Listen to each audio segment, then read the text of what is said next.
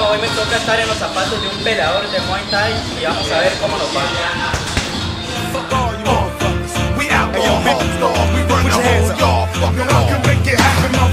Similar motherfuckers when they. Blast and watch them black